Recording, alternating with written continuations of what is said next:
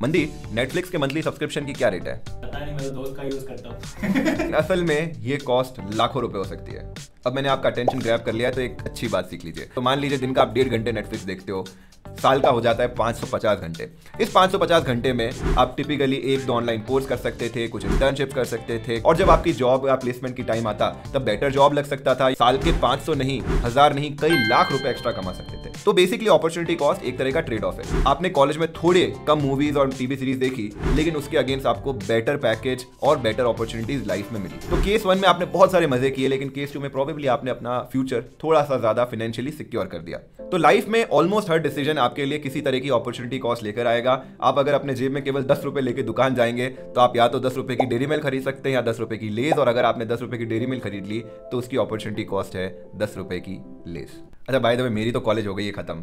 तो नीचे कुछ बढ़िया मूवी टीवी सीरीज़ कमेंट में बताओ। मैं तो देख लूँ नेटफ्लिक्स